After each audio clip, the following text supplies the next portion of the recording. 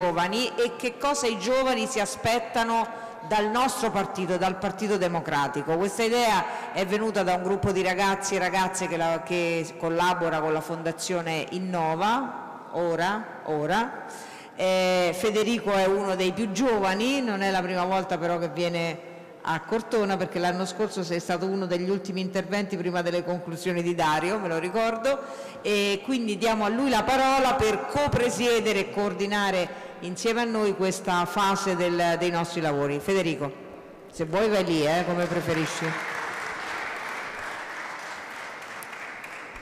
Buonasera a tutti, io sono Federico Macchi, ringrazio innanzitutto Eradem e Marina Sereni per averci dato questa grande opportunità. Fondazione Ora è una realtà che da diversi anni lavora nella provincia di Reggio Emilia per coinvolgere con spirito critico, con attenzione informazione i giovani sia sulle tematiche locali che su quelle nazionali. E di giovani oggi parliamo partendo da questo sondaggio di U-Trend, un sondaggio con un risultato inaspettato da alcuni punti di vista sicuramente molto positivo, ma non è un dato positivo solamente per il Partito Democratico, è un dato positivo per l'attuale governo che raggiunge un 47% circa tra gli under 35 e che soprattutto ha un 10% in più adesso nel 2019 rispetto a tutte le altre fasce di età. Ad esempio sopra i 55 anni la coalizione di governo di adesso è al 38%. Quindi se c'è un governo che deve puntare sui giovani, che è rappresentativo dei giovani e che può avere la visione, le capacità, le competenze per poter investire e poter costruire il mondo che quei giovani, quei ragazzi che adesso hanno meno di 35 anni andranno a vivere e andranno a creare da attori protagonisti, questa è l'attuale maggioranza di governo. Per creare questo mondo c'è bisogno di visione, immaginare l'Italia del 2040, l'Italia che questi vivranno da primi attori e che potranno cambiare e che potranno portare avanti, partendo dalle tre grandi sfide che in questo momento l'Italia ma il mondo ci pone davanti. La prima è quella ambientale ed economica, movimenti come Fridays for Future, persone come Greta Thunberg esistono perché finora la politica non è riuscita a dare fino in fondo delle risposte adeguate alla situazione ambientale. Soprattutto non è riuscita a dare delle risposte adeguate a livello di sostenibilità paragonata all'attuale sistema economico. È necessario un, eh, un'azione diretta da parte dell'amministrazione, è necessario che prima di tutte le persone orientino i loro acquisti, orientino i loro comportamenti ai criteri della sostenibilità e dell'economia circolare. Ed è proprio ai giovani che possiamo chiedere prima di tutto questo, perché come dice Creta è loro la casa che in questo momento sta andando in fiamme.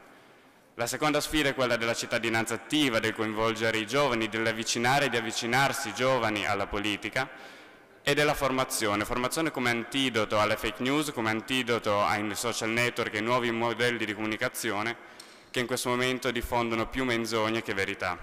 E soprattutto la sfida del lavoro. L'Italia del 2040 non può essere l'Italia dei riders e dei figli fatti a 35 anni. Non può essere questa l'Italia per i ragazzi che in questo momento studiano e che in questo momento si affacciano per la prima volta al mondo del lavoro. Queste tre sfide sono da vincere oggi. Cercheremo di ragionare insieme su come vincere queste e tante altre sfide che l'Italia e che i giovani ci mettono davanti perché se non sapremo dialogare con i ragazzi, se non sapremo ascoltare le loro richieste di aiuto, non rinunceremo solamente a una parte consistente del nostro elettorato, come dicono i dati, ma rinunceremo al nostro futuro. Grazie Federico. Tu hai un sacco di iscritti a parlare, io non so se questi due sono tra i tuoi, che forse questo no. Questi mi mancano, come ecco, figurine questi, panini. questi ti mancano, e abbiamo alcuni interventi, vai. Chiamo per primo Diego Cavallucci, 24 anni, consigliere comunale di Cortona e responsabile politico europeo ed estere di GD Toscana. Grazie, buonasera. Allora, ho preparato anche due o tre slide, visto che ormai siamo figli delle immagini, non so dove arriveranno. Comunque innanzitutto prima delle slide vanno doverosi ringraziamenti a Marina Sereni, a tutta Redem, ai ragazzi della Fondazione che hanno lanciato l'idea di stare a sentire secondo gli occhi dei giovani come funziona un po' il mondo. Eh, è piaciuta questa mm, idea di parlare perché non parleremo solamente di politiche giovanili ma parleremo di politica vista a 360 gradi ma con gli occhi di qualcuno più giovane rispetto a quelli che di solito la fanno. Inizio proprio con una parola strana eh, che purtroppo la politica spesso dimentica, è il sogno. Diceva Roberto Benigni che se eh, ci chiudono la porta dei sogni siamo già morti. Penso che chi fa politica, chi di giovane fa politica come me, eh, la fa proprio per questo, perché ha dei sogni e perché vuole combattere per realizzarli. Uno di questi, il mio in particolar modo, è legato alla riuscita del sogno europeo, eh, per me è ancora un sogno che va perseguito come partito, non va sicuramente lasciato indietro. Ecco, li vedo anche di qua. Non va lasciato indietro perché dobbiamo combattere contro questi tre tizi, che sono addirittura anche in altra buonissima compagnia, li vedete là, Marine Le Pen, eh, quello del mezzo che eh, è Johnson, il premier inglese, che ha addirittura avuto la scellerata idea, oltre che di perseguire questa Brexit, di chiudere, far chiudere il Parlamento inglese, e poi il più famoso di tutti, Donald Trump, che eh, mondo della, nel mondo della globalizzazione, nel mondo dello stare insieme, richiude le frontiere dello Stato più grosso di quelli che avevano inventato la globalizzazione, rinserisce dazi e diciamo così tarpa un po' le ali allo sviluppo mentale, economico di tutto il mondo. Viviamo in un mondo reale, scrivo, viviamo in un mondo reale perché dobbiamo capire qual è la potenza dei Stati membri dell'Unione Europea rispetto alle grandi potenze che ci troviamo a combattere. Quando si dice torniamo ad essere soli, torniamo ad essere stati nazionali, sì, bene, però siamo in un mondo in cui i commerci li gestiscono gli Stati Uniti d'America, la Russia, la Cina, addirittura in questo momento stanno avanzando i BRICS, che sono i paesi in via di sviluppo grandissimi, Brasile, India, che da soli diciamo, fanno la popolazione europea. Dunque dobbiamo per forza, noi giovani, perseguire il sogno europeo se vogliamo avere il sogno di fare qualcosa qui nelle nostre terre e di perseguire obiettivi dai, dalle nostre case. Abbiamo bisogno di un'Europa democratica e sovrana, cerco di andare un po' veloce perché pensavo di essere in meno, invece siamo 11 o 12, dunque eh, cerco di sintetizzare un po'. Democratica e sovrana sono parole strane che le dice spesso Salvini, ma qui le uso e, e dobbiamo imparare ad usarle sotto un altro, sotto un altro eh, punto di vista. Democratica perché secondo me i cittadini devono arrivare ad eleggere i rappresentanti veri dell'Europa, dunque il governo europeo, un governo vero, ci tornerò poi dopo, e l'Europa sovrana perché non possiamo più continuare a pensare di mandare avanti, come diceva bene prima il, il, il vice segretario Orlando, un'Europa fatta di piccoli interessi personali, o meglio di piccoli interessi nazionali, che assommandosi cercano di creare un interesse del continente, ma che assolutamente di solito non ci riescono e riescono solamente a fare una cosa, quel 2 più 2 della calcolatrice che poi alla gente comune, soprattutto ai giovani, non ci dice assolutamente niente e non riusciamo assolutamente a comprendere. Per continuare a pensare al 2 più 2 della calcolatrice e a un'Europa burocratizzata al massimo, siamo arrivati a questo. Noi partiamo nel 2000 con il 53% di italiani che amano e che come dire, eh, credono nel sogno europeo. È evidente che se anche nell'ultimo anno recuperiamo due punti percentuali, la perdita che abbiamo avuto eh, dai primi anni è sostanziale, è notevole e non possiamo rischiare da partito democratico, da partito di sinistra, da partito che ha creduto fin dai primi momenti nell'Unione Europea, di perdere la fiducia dei nostri elettori e addirittura ancora peggio di far perdere agli italiani la fiducia nell'Europa, perché vorrebbe dire tagliarci il futuro da soli. Viceversa, lui si fida ancora degli italiani e questo è una cosa che ci deve dare, ci deve dar credito. Il Presidente del Parlamento europeo è un italiano, è David Sassoli che domani se non vado errato dovrebbe essere con noi. La vicepresidente del gruppo Socialisti Democratici è la segretaria regionale toscana, la Simona Bonafè, da poche ore nominata a questo ruolo.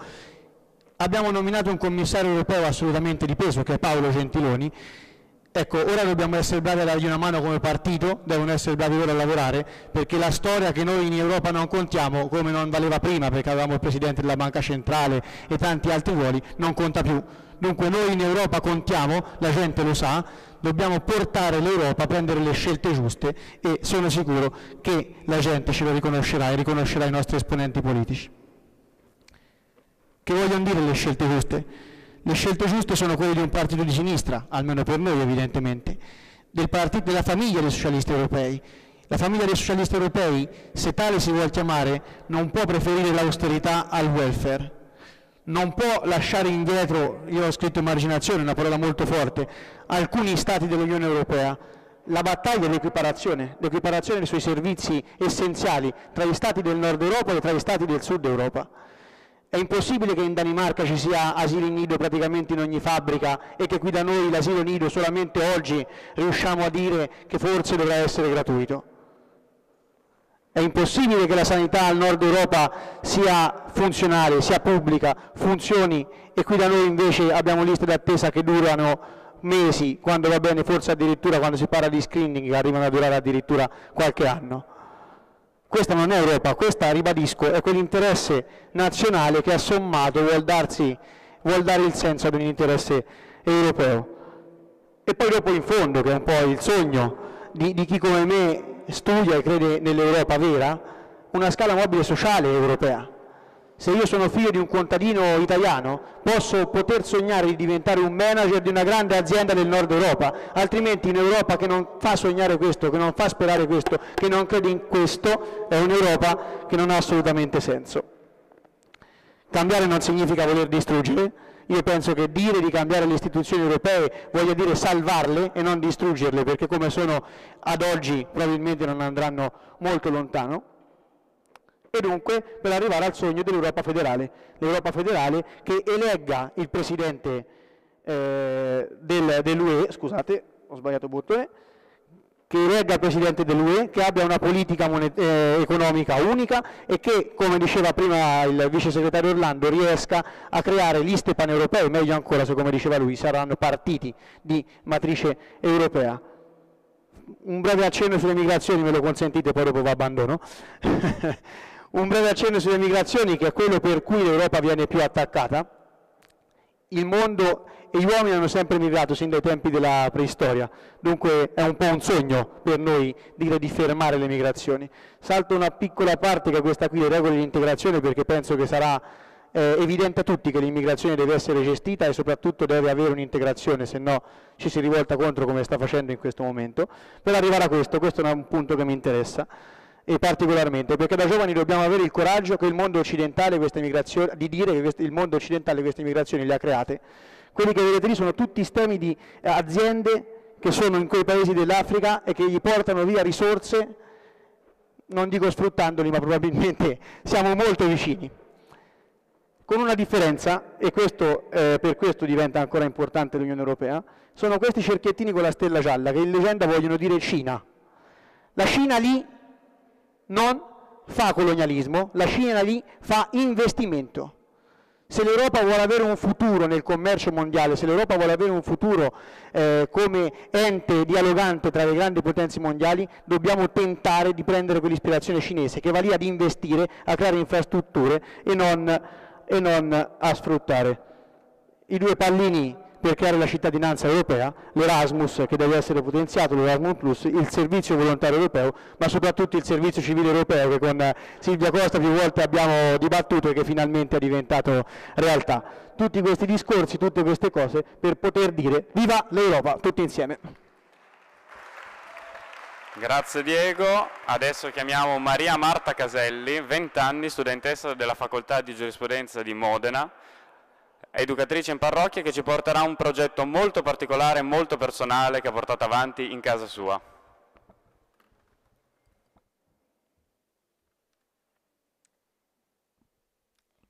Buonasera a tutti.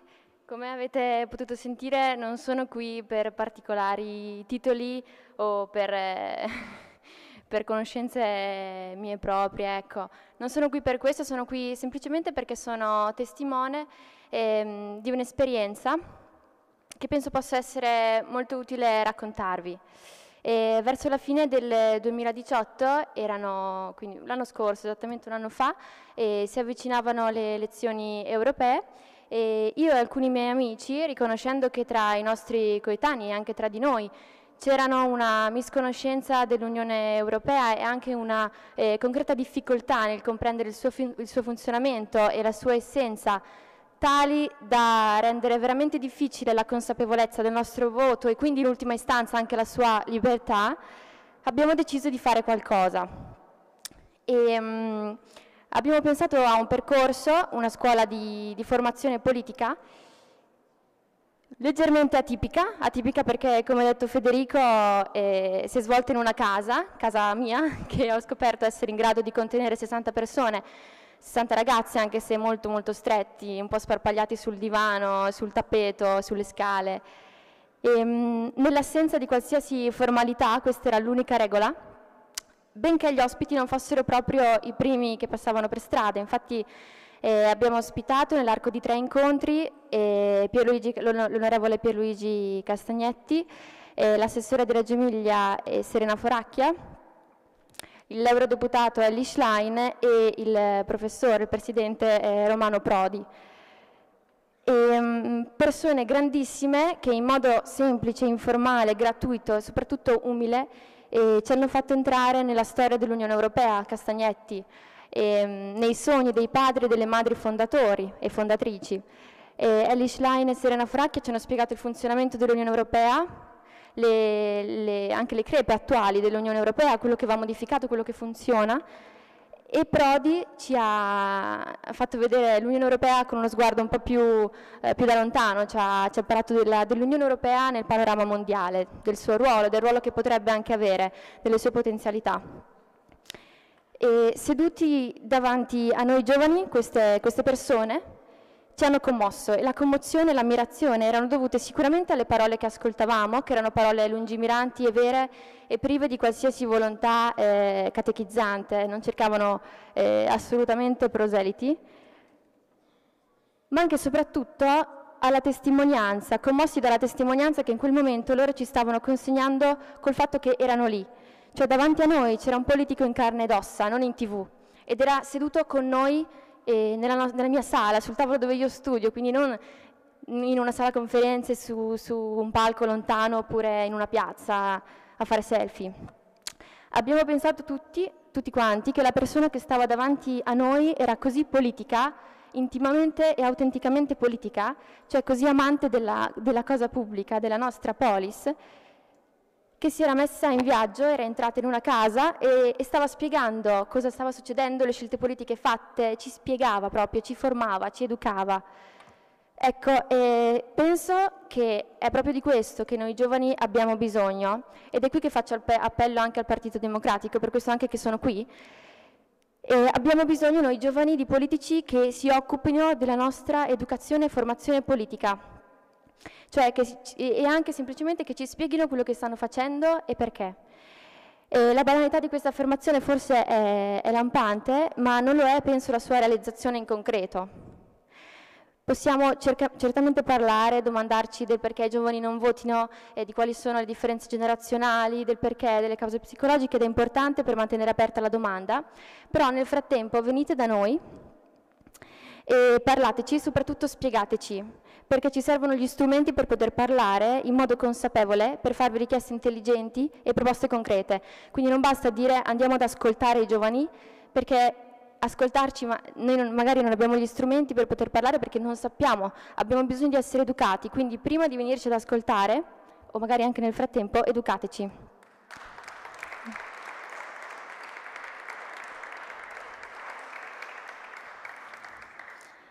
E se qualche tempo fa mi avesse chiesto perché i giovani sono così lontani dalla politica, vi avrei risposto ingenuamente perché rispetto al passato non ci sono più i maestri, cioè quei politici che educano cittadini. Quindi un Moro che aveva a cuore i suoi studenti, banalmente un Don Milani che rischia il carcere per la libertà dei suoi alunni, la libertà civica. Persone che quindi ci facciano vedere tutta la responsabilità che in quanto cittadini abbiamo Don Milani diceva ai suoi alunni che tutti sono responsabili davanti alle ingiustizie, cioè che tutti sono responsabili su tutto. Ecco, adesso non risponderei più così. Mi ricordo bene una chiacchierata con mio nonno su questo tema e la sua risposta alla mia lamentela dell'assenza di padri, di, ma di maestri e di madri. E I padri ci sono, cerchiamoli. In quel momento mi è venuto in mente Pierluigi, Elli, Serena e Romano, che ci hanno mostrato che i padri, madri, quindi che i maestri esistono e che ci sono ancora politici che hanno quelle tre caratteristiche che per me sono fondamentali per poter educarci, vale a dire la competenza necessaria, non scontata, l'onestà verso i cittadini e l'umiltà, Con umiltà intendo la consapevolezza che la funzione che avete scelto di, di esercitare, cioè quella di fare politica, porta a essere i servitori più umili del Paese. E non sono tantissimi gli uomini politici che hanno queste doti. Sono più quelli che credono che stare vicino ai giovani significhi portare, eh, postare foto di cibo eh, o farsi selfie insieme a noi nelle piazze, ma non è questo che cerchiamo. Concludo. La semplicità della nostra scuola di formazione politica è stata la chiave perché l'ha resa alla portata di tutti. Noi semplicemente abbiamo invitato i nostri amici personalmente chiedendo di diffondere la voce agli amici e alle persone che loro sapevano essere interessate. La voce si è sparsa e alla fine ecco 60 giovani in una casa a condividere prima la cena, poi le parole degli ospiti. E questa è però soltanto una delle mille iniziative che vengono dai giovani, dimostrazione che non tutti sono lontani dalla politica, che c'è ancora la concreta possibilità di attirare sempre più ragazzi fin dalla più tenera età, fin da piccoli, verso il desiderio di diventare pienamente cittadini.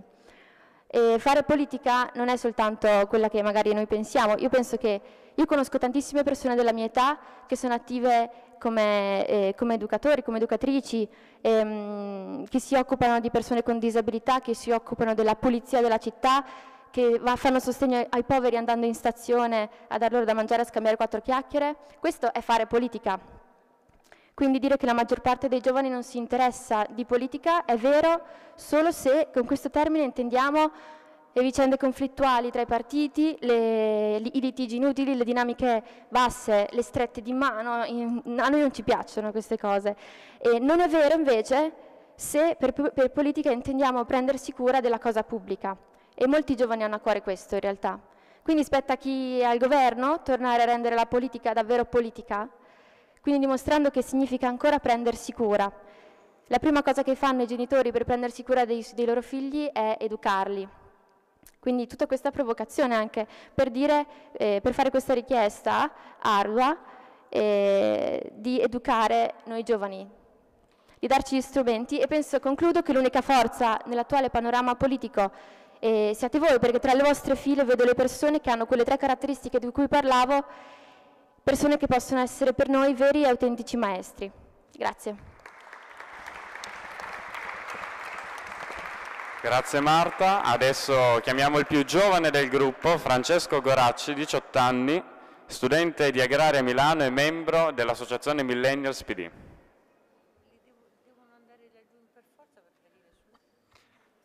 Così fanno la passerella. Potete anche avvicinarvi, eh, nel senso che... Buonasera a tutti, mi presento, sono Francesco Goraccio, ho 18 anni e sono nato in questa zona, sono nato ad Arezzo ma vivo oramai da, eh, ecco, da sette anni a Milano. Mi è stato chiesto oggi di venire qua a parlare di Partito Democratico e di rapporto tra giovani e Partito Democratico.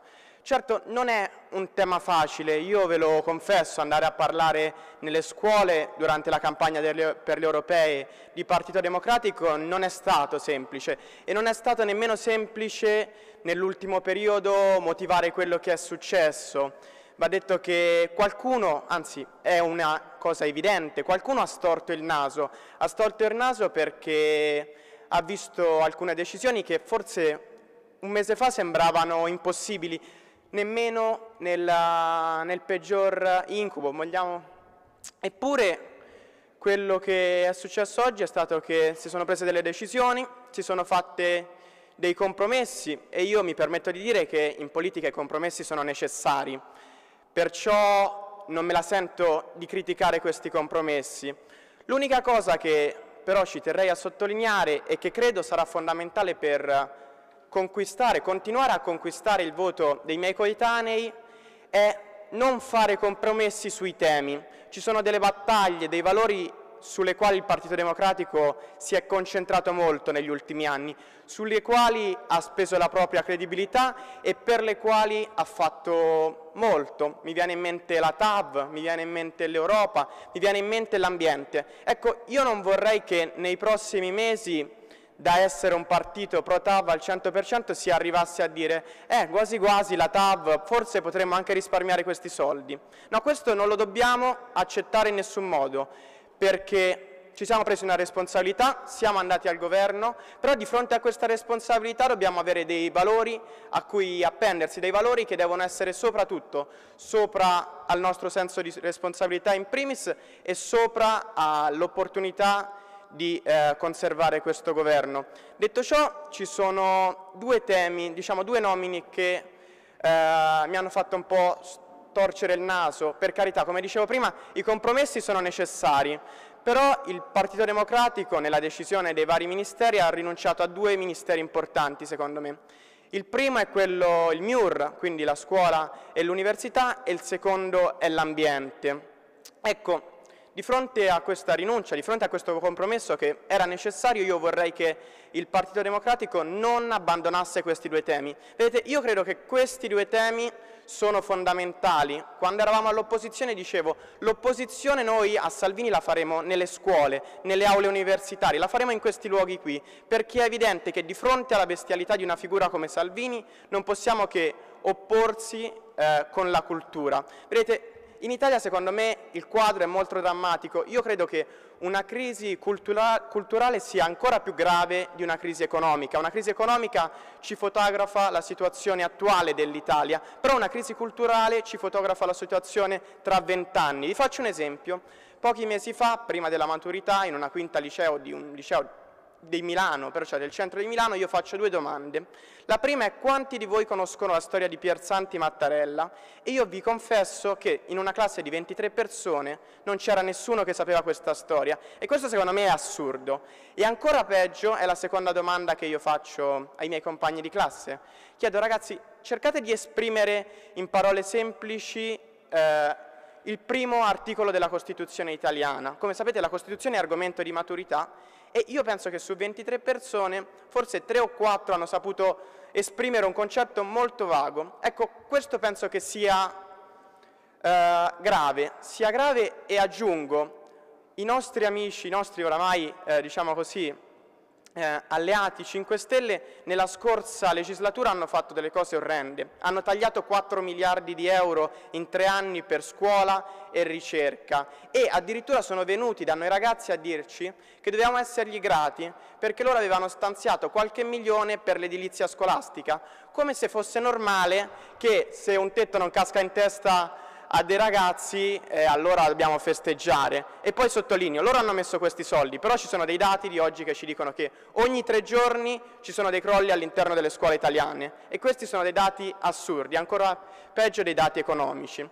Poi c'è l'altro tema, il tema dell'ambiente. Secondo me è un tema del quale non ci rendiamo conto della gravità. Io vi do un dato, un dato che riguarda le acque italiane. Oggi il 61% delle acque superficiali, secondo i dati Istat, presentano dei fitosanitari. E questa è l'acqua che noi andiamo poi a consumare. E se noi andiamo a vedere i dati di 5 anni fa, il dato è cresciuto del 7%. Questo vuol dire che questo trend è in crescita e noi non ci stiamo opponendo eh, abbastanza. Perciò io quello che voglio dire è che, come abbiamo fatto opposizione radicale negli scorsi mesi, dobbiamo far parte di questo governo con una certa radicalità. Non dobbiamo avere dei compromessi sull'ambiente, sulla scuola, dobbiamo avere il coraggio di dire che noi i soldi che Salvini voleva stanziare per la quota 100 li vogliamo stanziare per la scuola, per la ricerca, per l'università, perché ragazzi questo è l'unico modo per ritornare a conquistare una fascia degli elettori, soprattutto gli elettori più giovani. Chiudo con un augurio. Io vorrei che nei prossimi mesi, nei prossimi mesi che ci apprestiamo a vivere si metta da parte la polemica che ha caratterizzato l'ultimo mese. È necessario tornare a fare politica, è necessario tornare a parlare con il mondo. Vedete, secondo me il problema più grande che ha questo partito è l'egocentrismo. Nel PD tutti pensano che nel PD tutti pensano che al centro del mondo ci sia solo il PD, soltanto i problemi del PD quando c'è un mondo che va avanti e noi continuiamo con i nostri giochi di potere, con le nostre polemiche fini a se stesse, con le nostre dichiarazioni in televisione a cui non interessa niente a nessuno. Quindi io vorrei così, con uno slogan, lanciare la nostra azione di governo con più politica, meno polemica, più azione, meno contraddizione. Grazie.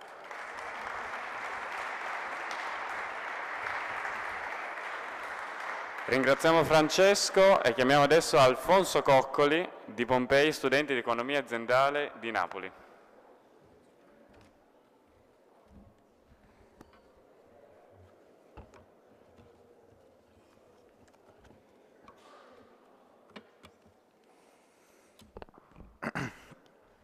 Buonasera, mi presento. Sono Alfonso Coccoli, è la mia seconda esperienza a Cortona. L'anno scorso è stato per me il battesimo politico, la prima esperienza davanti a un pubblico numeroso. Eh, io provengo dalla Campania, precisamente dalla città di Pompei, una città molto famosa nel mondo. Pompei è stata negli anni passati una fonte di imbarazzo per la nazione. Ogni giorno se ricordate, al telegiornale si raccontava di un crollo. La svolta arriva nel 2014 con la nomina di Dario Franceschini come Ministro dei Beni Culturali. Da lì tutto è cambiato, ve lo dico che l'ho vissuto da, dalla città con il sito archeologico più famoso al mondo. Si è dato inizio ad un forte progetto di rivalutazione di tutto il sito e non solo.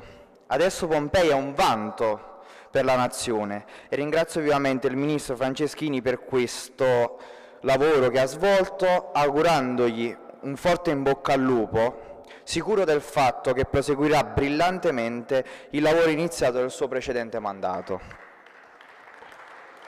Oggi qui, oggi qui però sento il dovere e la responsabilità di portare le testimonianze delle problematiche sociali di diverse generazioni, di diverse fasce d'età che io rappresento. Ho tanti amici che dopo aver conseguito il diploma hanno scelto la strada del lavoro, mentre altri hanno scelto quella del proseguo degli studi con l'università.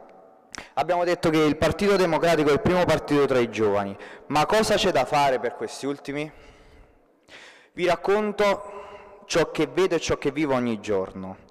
Vengo da una terra che non offre molte possibilità. Se puoi permetterti il lusso di continuare gli studi dopo il diploma, lo fai sapendo che molto probabilmente alla fine del personale percorso di crescita e di formazione dovrai emigrare per trovare sbocchi lavorativi capaci di soddisfare le ambizioni di progettare la vita e la prospettiva di un futuro stabile e sereno. Non c'è cosa più brutta per un giovane studiare con la consapevolezza di dover obbligatoriamente alimentare un fenomeno che è troppo poco discusso. Seguendo i dibattiti nell'Aula del Senato e della Camera nei giorni caldi delle trattative e nei giorni successivi, si sentiva parlare di porti chiusi, porti aperti, difendere i confini. Ma lo vogliamo capire che il problema dell'Italia, il flusso migratorio di cui ci dobbiamo preoccupare non è quello in entrata, ma è quello in uscita. Lo vogliamo capire? Lo vogliamo dire? Bisogna affrontare questo, tre, questo tema con un grado di urgenza massimo. Non c'è tempo da perdere. La strada è ancora più in salita per chi invece non ha potuto continuare gli studi. Vedo ragazzi, amici, sfruttati senza contratto, senza tutele, con una paga misera che non ti permette di programmare l'avvenire. Purtroppo, se sei giovane e vuoi lavorare, devi accettare queste condizioni, oppure te ne stai a casa. Questo aspetto è parecchio pericoloso, oltre che indecente. Pericoloso perché? perché contemporaneamente alla realizzazione di questo scenario si apre una seconda strada, una strada alternativa, semplice ed immediata. Sto parlando della Camorra, come ha detto prima il dottor Franco Roberti. La Camorra, che si insidia tra le disperazioni della povera gente, si presenta come uno Stato ausiliario.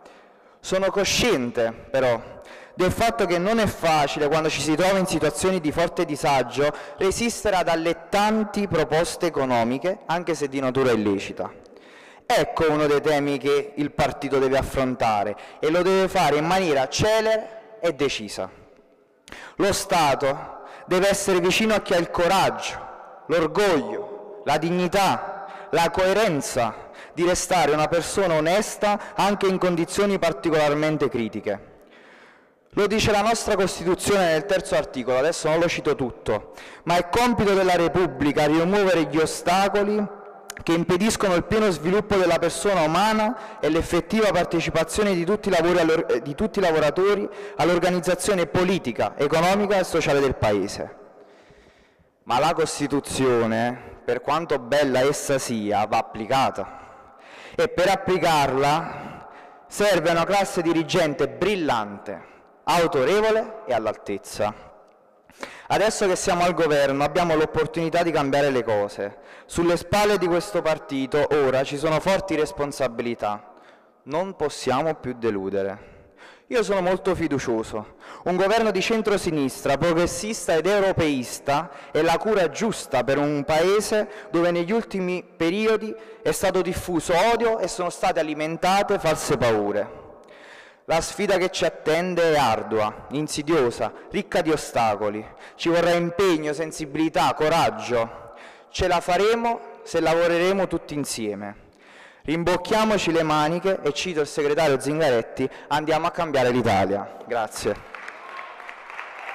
Una cosa però voglio dirla, uno dei temi principali di questa convention è stato l'ambiente, la sostenibilità non, non, voglio adesso parlare di questo argomento perché per parlare in maniera esaustiva dovevo concentrare il mio discorso solo su questo, però faccio una proposta, da domani iniziamo ad eliminare tutte le bottigliette di plastica che abbiamo qui, perché se non lo facciamo noi nostri, nei nostri appuntamenti politici, come possiamo pretendere che lo facciano nelle case?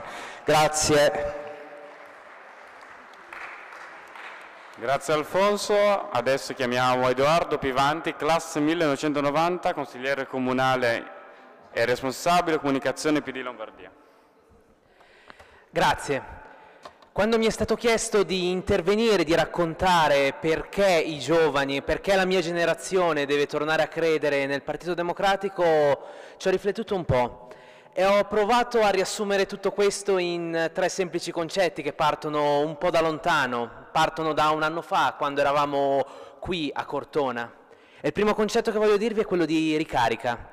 Ricarica perché un evento come questo e come tanti altri che organizzano il Partito Democratico, che sono un'opportunità di discussione per tanti e per tutti, anche per chi appunto ha qualche anno in meno e ha un po' di esperienza in meno, ma dove si può dire la propria opinione dà senso di ricarica, ma soprattutto dà senso di comunità, che è una delle cose che in questo ultimo anno ci ha portato ad allontanarci dal nostro elettorato, dal nostro popolo e dalla mia generazione. Il secondo concetto che voglio ricordare, voglio citare è quello di attesa, perché rispetto a un anno fa è cambiato il mondo, è cambiato il mondo politicamente. Noi abbiamo scelto probabilmente la via più ardua era facile andare alle elezioni, però è altrettanto più difficile probabilmente questa scelta di governare, per un semplice motivo. Abbiamo scelto prima di tutto di non lasciare le istituzioni in mano a gente come Salvini, Pillon, eccetera, e mi chiedo se avessimo permesso di lasciare le istituzioni nelle mani di quei soggetti, le istituzioni stesse sarebbero rimaste le stesse nel 2030. La mia generazione, una volta diventata adulta, avrebbe vissuto nello stesso paese, avrebbe vissuto nello stesso modo la nostra Repubblica. Quindi io sono convinto che questa è stata la scelta più ardua, è appunto attesa perché tante speranze, non solo il Partito Democratico, ripongono e vengono riposte in questo governo, nei nostri ministri, nei nostri sottosegretari. E l'ultima parola, che è forse quella un po' più forte e un po' più complessa, è fiato ed è quello che chiedo a chi in questo momento eh, riveste ruoli o rivestirà ruoli di governo, di eh, ruoli politici nei quali potrà incidere veramente. Date fiato alla mia generazione, dateci fiato per poter realizzare le nostre ambizioni, le nostre idee, le nostre aspirazioni nel nostro Paese, nel nostro paese ovunque, non solo per chi ha avuto la fortuna di nascere a Milano o vicino a Milano come me o a Roma, ma ovunque. date in tutte le parti d'Italia le stesse opportunità, le stesse infrastrutture, le stesse possibilità di realizzarsi, perché altrimenti in alcune zone veramente l'unica possibilità è quella di scegliere, l'unica scelta possibile è quella di andarsene. Io sono stato fortunato a nascere in provincia di Como, a nascere a Varese più che altro, eh, e vivere in provincia di Como, però non per tutti ci sono queste stesse opportunità. Dateci questo fiato Dateci questo fiato perché quel 2030 che, questa, che, ci ha raccontato questa mattina Giovannini, noi ci crediamo, noi ci crediamo ancora di più per un semplice motivo, è lì che vivremo, è lì che andremo a vivere, è lì che ci confronteremo con un mondo che è ancora più grande del nostro paese. Dateci questo fiato, è l'unica cosa che come generazione del 90, ormai non si capisce se il 90 fa parte della generazione millennials oppure no, ma comunque dateci fiato e sono convinto che se ci ridarete questo fiato alla mia generazione, a questa generazione, si tornerà in Italia a respirare nuovamente aria buona. Grazie. Grazie Edoardo. Adesso è il turno di Gianfranco Murrone, 36 anni, assessore al bilancio personale e ambiente del comune di Rubiera, in provincia di Reggio Emilia.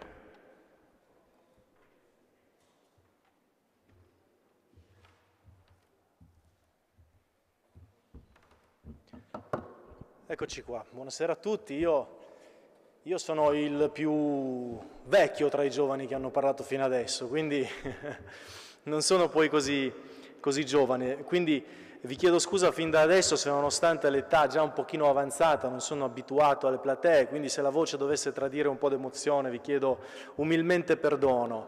La prima cosa che faccio, però consentitemi, faccio partire il timer perché mi metto 5 minuti, giusto? Quindi cercherò di, stare, cercherò, cercherò di stare nei tempi. La prima cosa che faccio, però consentitemi un piccolissimo ringraziamento a Chiara Braga che è qui davanti, che ci ha sollecitato a, a, dire, a, a dare un contributo a questo tipo di dibattito. La ringrazio anche per l'esperienza al Nazareno che, con cui ci è venuto a dare una mano qualche tempo fa. Eh, un sincero eh, ringraziamento in bocca al lupo per eh, Marina Sereni, chiamata ad un compito arduo, importante e chiamo quindi l'applauso di tutti. Davvero grazie per il contributo di oggi e per quello che darai nei prossimi mesi al Partito Democratico e al Governo. E infine, eh, anche consentitemelo, a Dario Franceschini, che a nome di molti e non soltanto di quelli del Partito Democratico è stato oggettivamente il miglior ministro della cultura di questo Paese e quindi è degnamente tornato al suo posto. Mi dispiace che non sia qui davanti, ma insomma, fategli arrivare il messaggio perché sono convinto di portare la sensibilità di molti rispetto a questo argomento. Alla luce di questo eh, e fatti i doverosi e sentiti ringraziamenti, io sono stato sollecitato ad una ehm, discussione, insomma un confronto sui temi ambientali. Io vengo da un territorio un po' particolare, vengo da Rubiera, un paese in provincia di Reggio Emilia, che si trova al centro tra due grandi città, Modena e Reggio Emilia. E allora l'occasione è troppo ghiotta per non fare un appello a chi è eh, ai vertici eh, del Paese, ai vertici del Partito Democratico, c'è anche qui Piero Fassino che saluto cordialmente, e, e non come me, come il mio sindaco, quindi alla periferia del Partito Democratico, alla periferia della macchina amministrativa e della macchina politica. La bretella Campogagliano da Sassuolo sa da fare, la tangenziale di Rubiera che è connessa in quell'opera va fatta perché non è solo una questione di infrastrutture, è una questione di salute ancor prima che di rispetto e tutela ambientale.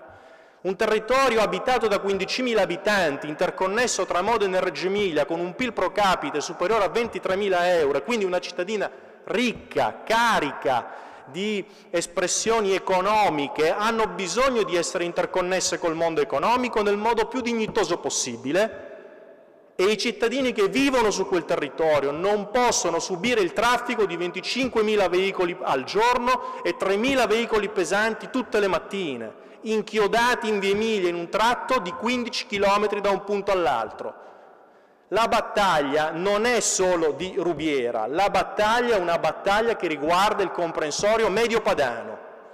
E quindi faccio veramente un appello alle rinnovate cariche di governo sedute qui a darci una mano in una battaglia così delicata e così importante, che, ripeto, interessa non solo le questioni strettamente ambientali e infrastrutturali, ma specificatamente di salute pubblica. È un problema di salute pubblica. Quindi vi chiedo scusa se mi sono scaldato, ma ho fatto l'assessore ai lavori pubblici nella giunta precedente, ho il bilancio e l'ambiente, il personale dello sport in questa e sono eh, da molti anni eh, come dire, seduto a dei tavoli dove tutto sommato continuo a vedere dei rimbalzi, no? eh, commissione costi-benefici su opere appaltate, insomma siamo alla follia. Quindi io chiedo sinceramente da questo palco, scusate se ne approfitto, un impegno serio da parte di chi ha rinnovate cariche di governo all'interno del mio partito in questo nuovo governo, in questa nuova esperienza di legislatura. Questa era la prima cosa che volevo fare, che volevo sollecitare, perché la sfida ambientale non si vince soltanto con i comportamenti individuali, ma anche con, le, con, con i nuovi assetti infrastrutturali. Un territorio come il nostro, e qui vado sul banale, che vive in eh, un tessuto pianeggiante e che connette Parma, Reggio Emilia, Modena e Bologna, non può avere un trasporto regionale ancora ancorato, nonostante gli importanti investimenti fatti in questi ultimi anni da Stefano Bonaccini. Abbiamo bisogno di più treni regionali, abbiamo bisogno di una connessione intermodale più veloce, più efficace, più efficiente. Non possiamo rimanere bloccati in una condizione che non ci consente un'intermodalità vera su territori che sono oggettivamente anche piccoli dal punto di vista, di vista dimensionale. Quindi è necessario che anche il trasporto regionale, unitamente alle infrastrutture nuove, tipo la richiamata Bretella Campogagliano Sassuolo, siano oggettivamente potenziati, perché non è possibile vedere macchine in fila con una sola persona, Capite bene che è una, è una sfida non solo culturale, è una sfida infrastrutturale, ambientale, sanitaria e serve davvero il contributo di tutti. Perché ha voglia avere le mamme che mi vengono a dire facciamo le iniziative del pulisci e corri a Rubiera, è encomiabili, encomiabili. A Rubiera siamo partiti con un'iniziativa bellissima perché delle mamme mi hanno sollecitato a fare un'esperienza che avevano visto nei paesi del nord Europa dove le tematiche ambientali sono oggettivamente avanguardia. No? E allora mi hanno detto cosa puoi fare tu per darci una mano ad organizzare un'iniziativa di questo tipo, a sollecitare, a stuzzicare le associazioni di volontariato a dare un contributo di questo tipo sul territorio.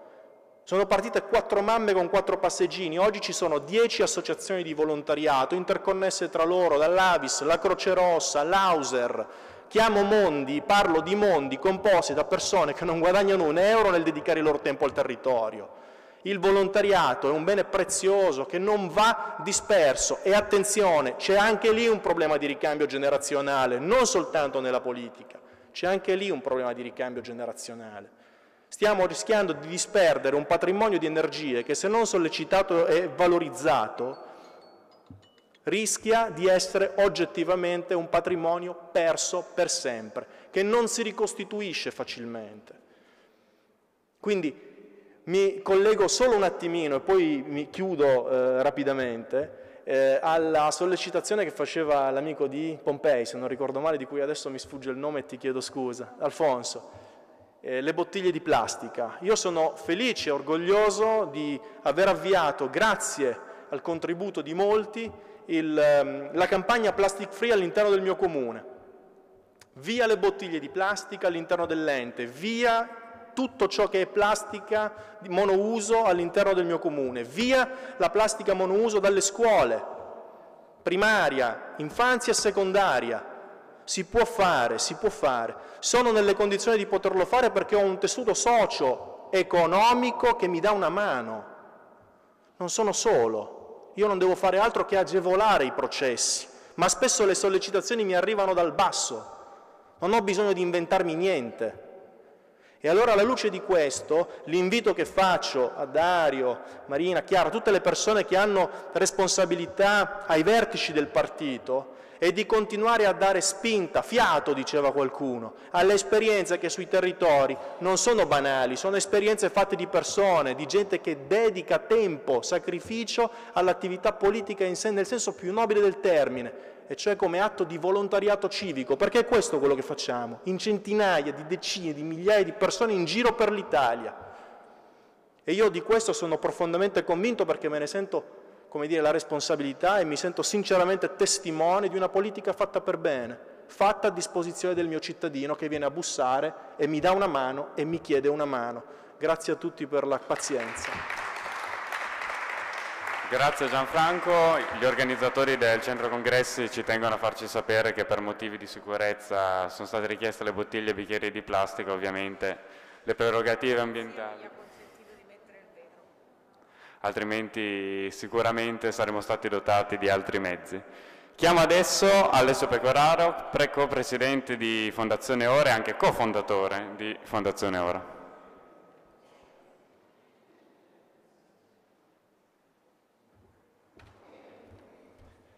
Buonasera a tutti, e non parlerò di governo come hanno fatto molti di quelli che mi hanno preceduto e mi limito a fare gli auguri a chi di questo governo farà parte, al Ministro Franceschini e poi per tutti Francesca Puglisi e Marina Sereni che vedo qua eh, una di fianco a me e una di fronte a me. E mi ha fatto piacere che negli interventi che mi hanno preceduto molti ragazzi e ragazze non abbiano parlato strettamente di Partito Democratico. Il focus eh, di questa sera, nello spazio gentilmente concesso, doveva, doveva, avere come centro il Partito Democratico e la nuova indagine U-Trend Quorum che lo vede di nuovo apprezzato tra i giovanissimi. Le, le, ultime elezioni, quelle del 4 marzo scorso, avevano registrato un forte scollamento tra le nuove generazioni e il Partito Democratico, vedendo queste, queste ultime preferire un uh, soggetto politico come il Movimento 5 Stelle. Ovviamente eh, dopo, mh, dopo, questo periodo, dopo un anno anche dall'ultima Cortona, dove mh, mi ricordo che proprio da questo palco citai Baricco dicendo sono arrivati i barbari, e mh, citando Baricco dissi non è il momento di combatterli i barbari, non è il momento di eh, chiuderci, non è il momento di arretrare, ma è il momento di starlo a guardare questo cambiamento, pensare e capire come superare questo momento e fare qualcosa di nuovo.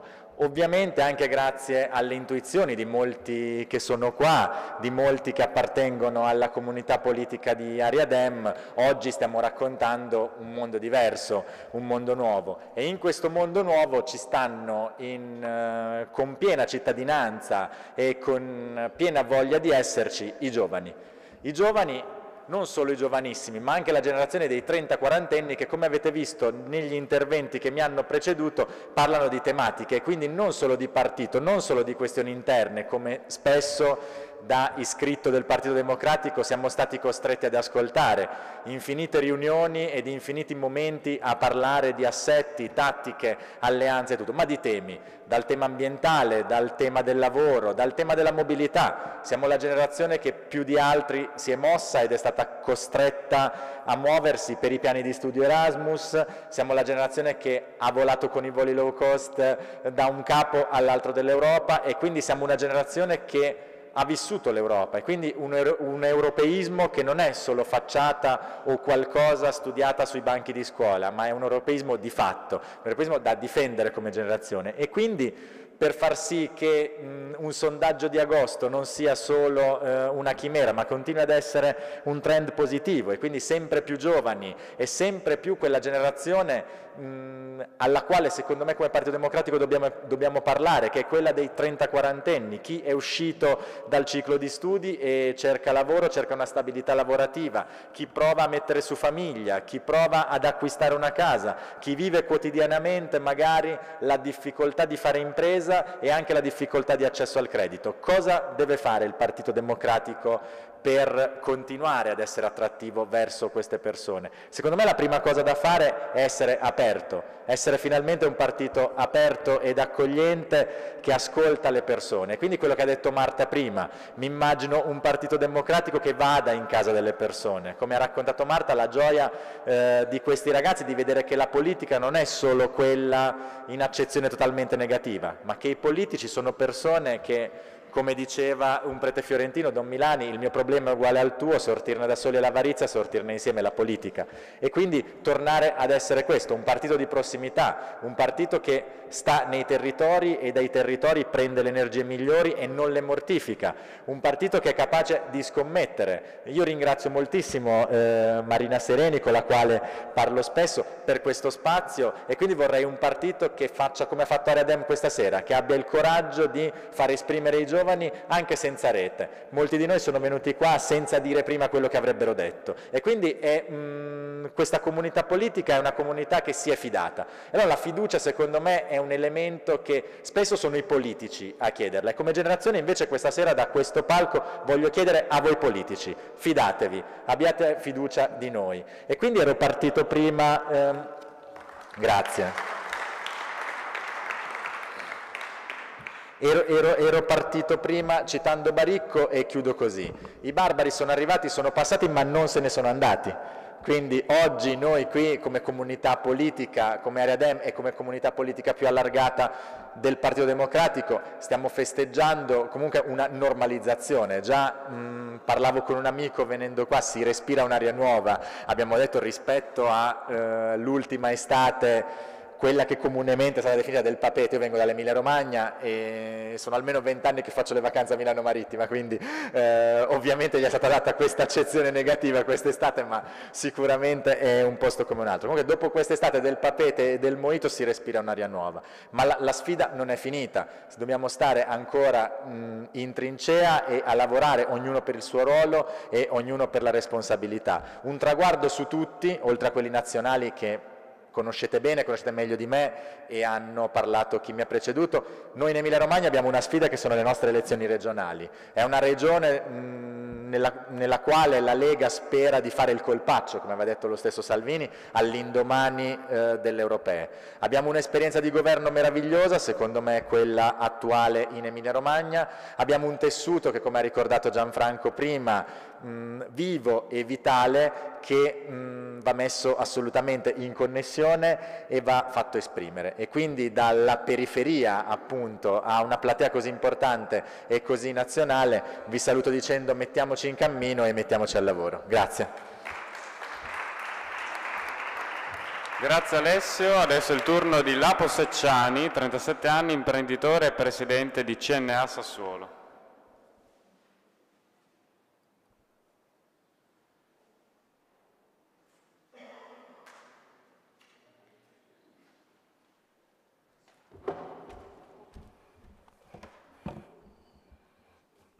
Buonasera a tutte, buonasera a tutti. Io ringrazio innanzitutto Area Dem perché momenti come questo dove ci possiamo confrontare sono estremamente importanti e per cui ho deciso di togliere del tempo alle mie aziende e al mio lavoro e ai collaboratori per venire qui a portare il mio contributo.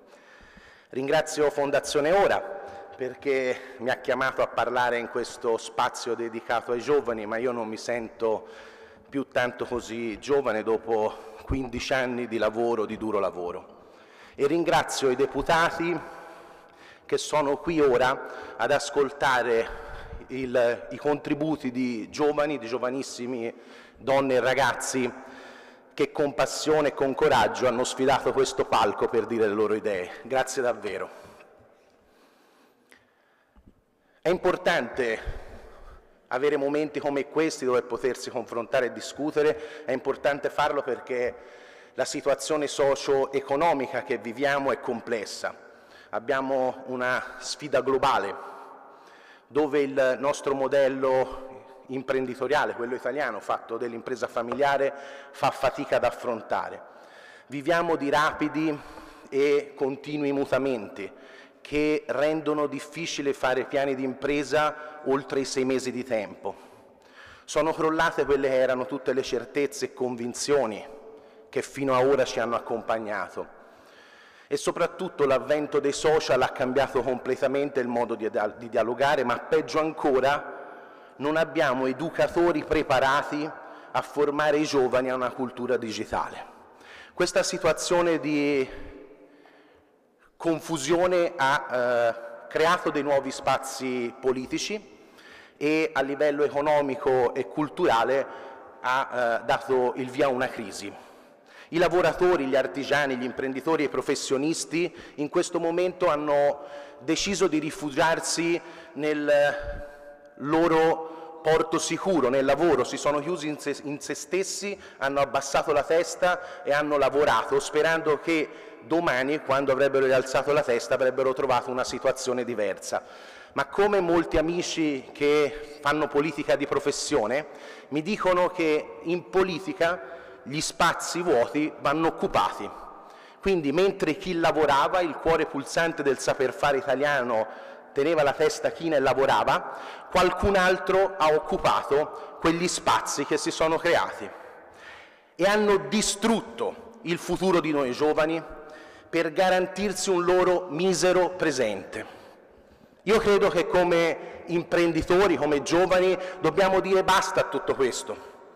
Credo che come imprenditori dobbiamo farci carico del nostro ruolo sociale e iniziare a giocare questa partita, perché queste persone stanno vincendo la partita solo ed esclusivamente perché noi ancora non abbiamo deciso di giocare quella partita. E sono convinto che un'area riformista debba essere capace di creare quell'opportunità a quella generazione di 30-40 anni di fare loro le scelte che incideranno sul prossimo futuro, quel futuro dove loro costruiranno il loro lavoro, le loro famiglie e faranno crescere i loro figli. Lo schieramento riformista ha all'interno le competenze, la storia, le capacità, le donne e gli uomini per fare tutto questo. Deve solo trovare il coraggio e l'umiltà di fare spazio e di fare un passo al lato per fare entrare e dare le opportunità a tutte queste trentenni, quarantenni, a questi giovani, a queste giovani.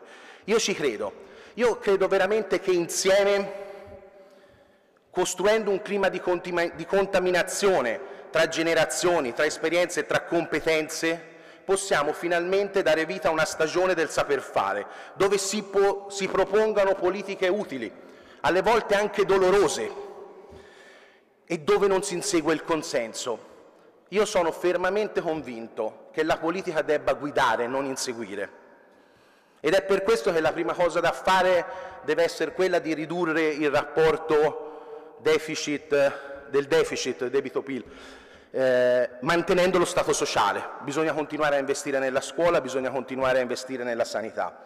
Bisogna lottare seriamente, non con le parole, non gridando onestà, onestà, onestà, la corruzione e l'evasione fiscale, perché bisogna ricordarsi, e ce lo dobbiamo ricordare innanzitutto noi imprenditori, che in uno Stato sociale, in un Paese, ci sono prima i doveri dei diritti.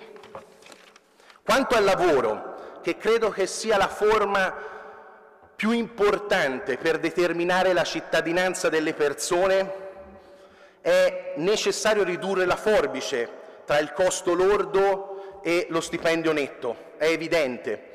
È importante investire nel talento e rafforzare l'alternanza scuola-lavoro per poter sviluppare quelle soft skill che in una situazione economica come quella attuale sono molto molto importanti e determinanti per avere successo nel mondo del lavoro.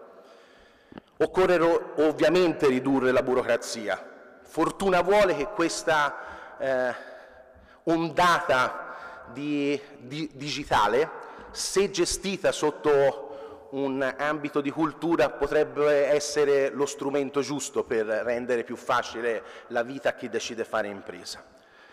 Ma per dare l'opportunità ai giovani di fare impresa e di lavorare, noi dobbiamo investire nel talento, dobbiamo investire nella competenza e nella voglia di fare. Dobbiamo avere il coraggio di ripartire dalla parte sana del Paese. Io sono assolutamente contrario al reddito di cittadinanza e non lo sono al contrario solamente io. Insieme a me ci sono 2030 imprenditori della provincia di Modena che considerano il reddito di cittadinanza una zavorra per tutti i giovani che vogliano fare impresa, perché si dice stai a casa sul divano invece di farti il mazzo e prova a mettere in piedi una tua impresa. Ed è per questo che come giovani imprenditori noi abbiamo portato avanti una proposta che abbiamo già sottoposto eh, a Francesca che abbiamo portato eh, durante la campagna delle primarie di Zingaretti a Bologna, che è Accelerazione Italia. Non eh, vi chiederò molto su questa, su questa, proposta, si tratta semplicemente di eh, un'idea di investire sviluppare quelle che sono le giovani imprese con strumenti economici finanziari e valorizzare le imprese virtuose attraverso defiscalizzazioni, selezionandole per quanto riguarda i giovani sul tasso di occupazione e di crescita delle imprese, la penetrazione dei nuovi mercati e il livello di crescita nei futuri anni. Per quanto riguarda invece le aziende virtuose andiamo ad analizzare quelli che sono i livelli di parità salariale, la responsabilità sociale che fa le imprese, il welfare che viene fatto all'interno dell'azienda, le politiche green che fanno e gli adempimenti, perché è importante che le imprese adempino ai loro doveri. Questi criteri oggettivi li può analizzare tranquillamente l'Agenzia delle Entrate e così trasformeremo da ente riscossore a ente premiatore. Accelerazione Italia per noi è la voglia di scommettere sul fare. E, ehm, io il, chiudo dicendo e auspicando che questo nuovo governo e soprattutto il PD come partito che rappresenta al meglio l'area riformista decide, decida veramente di investire sul merito, sul talento, sulla voglia di fare e soprattutto sulla competenza, dando spazio e avendo fiducia, come diceva Alessio Pecorari, in quella generazione di 30-40 anni che hanno vissuto e stanno vivendo sulla loro pelle le difficoltà di una situazione veramente, veramente complessa. Grazie.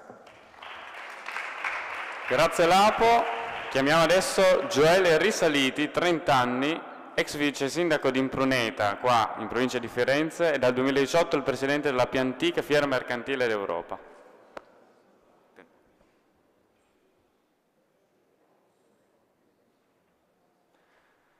Gioele è il penultimo intervento, quindi ancora un paio di interventi. Cercherò di essere anche breve per aiutare diciamo, diciamo, l'avvicinarsi della cena. Grazie, intanto voglio ringraziare tutti della, della, possibilità di potermi esprimere. Io ho svolto una, un compito amministrativo per tre anni, ho avuto questa fortuna, un piccolo comune di provincia. Mi sono accorto di una, di una grave mancanza ci mancava un rapporto serio e costruttivo con la città, ci mancava la capacità di eh, intercettare i giovani, di riuscire a tenerli sul territorio, di non, di non disperdere tutte le nostre energie formate anche attraverso le nostre università, Firenze insomma, ha alcune eccellenze, che sono andate via. Io facevo questa riflessione, mi sono guardato intorno, ho cercato alcuni miei amici e sono a Milano quelli più vicini, gli altri sono in Spagna, sono in Francia. Questo perché qua non riescono a trovare un posto di lavoro. Io credo che si debba cercare di ricostruire una comunità, che si debba rimettere in, uh, in positivo quello che le grandi città hanno costruito in questi anni, percorsi di valorizzazione culturale, e cercare di estenderli anche al tessuto delle città vicine che sta morendo, una necrosi che ormai è qualche anno che si, è, che si sta verificando. Mm, non, non, ho altro da aggiungere, voglio essere velocissimo sinceramente, però mi ha dato grande speranza ed ho accettato di essere qui perché eh, questo governo sicuramente non sarà il migliore del mondo, però può dare una visione nuova abbiamo l'opportunità dopo vent'anni di, di, fare il, quel cambiamento che abbiamo sempre richiesto. Se non lo facciamo questa volta però non ci presenteremo forse più a nessuna delle prossime elezioni. Buona serata a tutti. Grazie Gioele, ultimo ma non per importanza, Pietro Cortenova, studente della Facoltà di Storia di Bologna, ha frequentato anche scuola di politiche e ci porterà un lavoro sul riformismo frutto di un evento di Fondazione Ora di quasi un anno fa.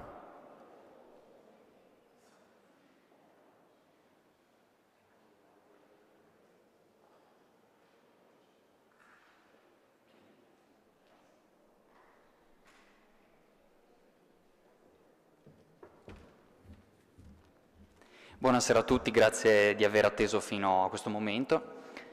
Sono veramente dire, contentissimo di poter essere di nuovo qui quest'anno e in realtà mi sono, mi sono, preso la libertà di condividere con voi alcune riflessioni, potrei dire, sui massimi sistemi, ma ehm, credo che eh, fosse interessante, potrebbe essere interessante, almeno lo spero, eh, guardare alla questione del, del coinvolgimento e dell'intercettazione possiamo dire, dell'intercettamento delle generazioni più giovani da parte del nostro partito nel momento in cui dobbiamo andare a sviluppare pratiche, retoriche che possano coinvolgerlo, che possano in realtà portarlo a una costruzione di consenso che noi sentiamo in questo momento essere necessaria ed essere soprattutto un'opportunità. Infatti io credo che la bontà delle relazioni che il partito intrattiene con i giovani siano una misura della sua comprensione della realtà attuale e non mi riferisco alla predisposizione di misure di sostenibilità per le generazioni future che sono una responsabilità e che eh, dovrebbero trascendere la eh, possibilità di farle comprendere a coloro che saranno i diretti interessati dei, suoi, dei, benefici che porteranno. Eh, di conseguenza credo che il rapporto intimo che viene a generarsi tra un'ampia generazione di, eh, dei più giovani, potremmo dire, sì, e eh, il partito riguardi sostanzialmente una questione di fiducia, una questione che non riguarda soltanto la eh, scarsezza di fiducia verso il nostro partito, anzi eh, riguarda tutta la politica e, ad essere onesti, anche le, le istituzioni. Io mi sono chiesto semplicemente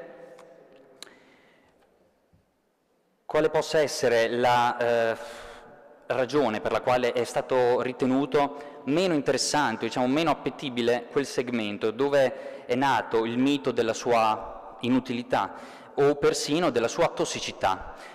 Credo che eh, abbia le sue radici in una generale vaga convinzione per la quale i giovani sarebbero superficiali, eh, apatici, mh, vagamente ignoranti delle questioni veramente importanti e che anzi L'investimento che viene fatto in termini di energia, tempo e credibilità sul loro segmento non sia ripagato, anche di fronte a un eventuale successo, dal numero piuttosto esiguo delle generazioni più giovani. Quindi in sintesi non riguarda, dire, un problema eh, di, di mh, fidelizzazione del segmento più giovane verso altre altre forme di attivismo politico, ma riguarda sostanzialmente la convinzione che non possa essere, non possa essere un ritorno eh, dirimente tra il successo e il fallimento di questo partito. Ecco, io in realtà chiedo che cosa c'è di veramente diverso nell'atteggiamento che rivolgiamo ai giovani e quello che abbiamo rivolto tutta la politica italiana per lungo tempo all'interezza del, della cittadinanza, a tutti gli italiani che si ritenevano forse un po' troppo infanti, quindi un po' troppo giovani, un po' troppo ingenui, un po' troppo suscettibili alle fascinazioni dei leader, un po' troppo entusiasti di fronte all'ipersemplificazione dei fatti, un po' troppo sensazionalisti.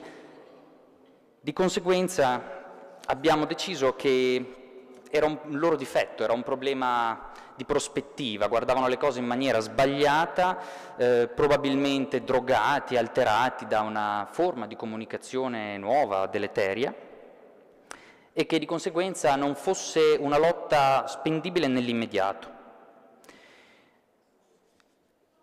Credo che mm, dobbiamo segnare una distanza dagli altri e renderci conto che quella distanza sarà proprio la ragione del nostro vantaggio. Penso che questo partito possa conquistare l'attenzione, il rispetto e di conseguenza il voto dei giovani, ovviamente di tutti gli altri italiani, di tantissimi italiani, dimostrando di essere i primi per fiducia che ripongono nelle persone.